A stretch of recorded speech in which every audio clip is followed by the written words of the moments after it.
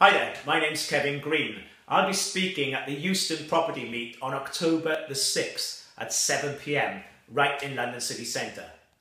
I'll be sharing two main topics. Number one, how to buy the properties at up to half price by dealing with repossession directly from banks. I'll show you how I put my licensed company in place, and that is one of the two main reasons why I'm very successful.